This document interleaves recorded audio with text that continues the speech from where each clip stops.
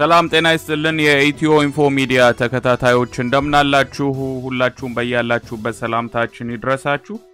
ፌስቡክ አፍሪካ ላይ የተቃጡ ገጾችን መዝጋቱ ዛሬ ተሰምቷል። ዜናው ቢቢሲ አማርኛ ክፍል ነው ያወጣው። ፌስቡክ በመቶዎች የሚቆጠሩና አፍሪካ ላይ አነጣጥረዋል ያላቸውን ገጾችና አንድ የእስራኤል ተቋምን ማገዱን ይፋ አድርጓል ዛሬ ፌስቡክ ሐሰተኛ ናቸው ያላቸው ገጾች በተለያዩ ሀገሮች ስለሚካሄዱ ምርጫዎችና ስለ ሌሎችም ፖለቲካዊ ጉዳዮች መረጃ የሚሰራጭባቸው ነበሩ ተብሏል። ፌስቡክ ያስወገዳቸው 265 ገጾች መነሻቸው እስራኤል ሲሆን በሴኔጋል፣ በቶጎ፣ በአንጎላ፣ በኒጀር፣ በቱኒዚያ እንዲሁም በላቲን አሜሪካና ደቡብ ምስራቅ እስያ ላይ ያተኮሩ መረጃዎችን ያሰራጩ ነበር። ፌስቡክ የተሳሳተ መረጃን ከገጽ ከድረ ገጹ አያስወግድም በሚል በተደጋጋሚ ይተቻል። ከአራት ዓመት በፊትም የመረጃ ትክክለኛነትን የሚያጣራ አሰራር መጀመሩ ይታወሳል። ፌስቡክ ካገዳቸው ገጾች ጀርባ ያሉ ግለሰቦች ሐሰተኛ ገጽ በመጠቀም የተሳሳተ መረጃ ይነዙ እንደነበር ፌስቡክ ባወጣው መግለጫ አትቷል። በሐሰተኛ ገጾቹ ይሰራጩ የነበሩ መረጃዎች በርካታ የፌስቡክ ተጠቃሚዎች ጋር እንዲደርሱም ተደርጎ ነበር። የፌስቡክ የደህንነት ፖሊሲ ኃላፊ ናትናኤል ግሌቸር እንደተናገሩት ግለሰቦቹ በተለያዩ ሀገራት የሚሰሩ መገናኛ ብዙሃን በመምሰል ስለ ፖለቲከኞች ተደብቀው የነበሩ መረጃዎችን አጋልጠናል እያሉ ያሰራጩ ነበር። አርቺሜዲስ ግሩፕ የተባለው የእስራኤል ተቋም ከነዚህ እንቅስቃሴዎች ጀርባ እንዳለ በምርመራ እንደደረሱበትም ኃላፊው ተናግረዋል። የፌስቡክ ገጾች የፈጠሯቸው ሰዎች እንደ አውሮፓውያኑ ከ2012 እስከ 2019 ለማስታወቂያ ወደ 812000 ዶላር ገደማ ከፍለዋል።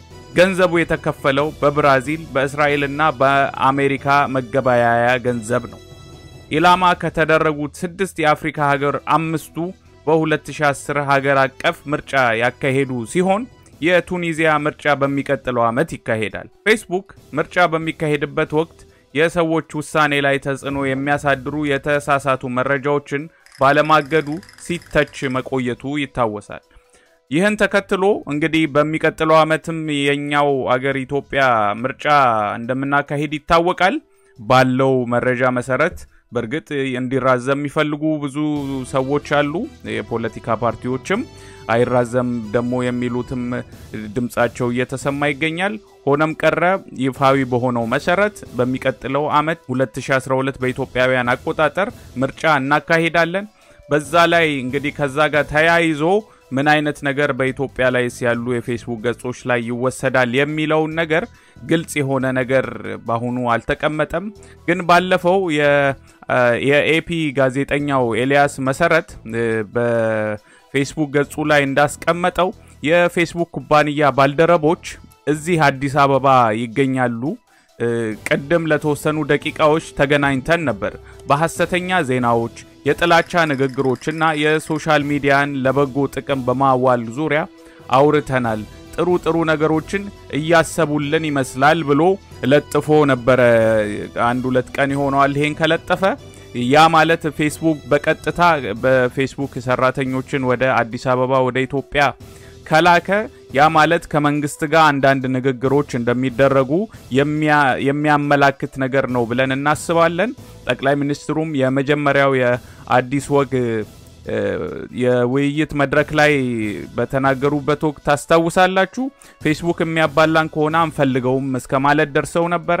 የፌስቡክ ተጽዕኖ በጣም ከፍተኛ ከመሆኑ የተነሳ ከየትኛውም የ social media መረቦች የፌስቡክ ተጽዕኖ እጅግ የጠነከረ ነው። መንግስትም በተለያየ መንገድ ሊቆጣጠረው ፌስቡክ እንደሚፈልግ ብዙዎች ይናገራሉ። የብዙ አክቲቪስቶች፣ የዜና አውታሮች ምንጭ ዋና ማሰራጫ ምንጫቸው ፌስቡክን እንዳረጉ እናውቃለን። የመንግስት ሚዲያዎች ሳይቀሩ ፌስቡክ ትልቅ የተለያዩ ሀሳቦችንና መረጃዎችን የሚያወጡበት መድረካቸው ነው። እንግዲህ ምን አይነት ነገር እኛ ጋር ተያይዞ ከኢትዮጵያ ጋር ተያይዞ ምን አይነት ነገር ይወጣል ወደፊት ምናየው ይሆናል። ግን በቅርቡ ከፌስቡክ ጋር በተገናኘ የተለያዩ አንዳንድ ጠጠር ያሉ አቋሞችን መስማታችን የማይቀር ነው። እንዳልኳችሁ ኤልያስ መሰረት የኤፒው ጋዜጠኛ ኤልያስ ባወጣው ዘገባ መሰረት የኩባንያው ባልደረቦች አዲስ አበባ መገኘታቸው አንድ የሆነ ነገር በቅርቡ ሊመጣ እንደሚችል የሚያሳይ ነው ብለን እናስባለን። ለጊዜው ያለን ዜና ይህ ነው። በሚቀጥለው እስክንገናኝ ሰላም ቆዩን። ኢትዮ ኢንፎ ሚዲያ የተለያዩ ማህበራዊ፣ ፖለቲካዊና ወቅታዊ ጉዳዮችን እያዘጋጀ ወደ እናንተ ያደርሳል። subscribe፣ comment፣ share በማድረግ ቤተሰቡን እናመሰግናለን።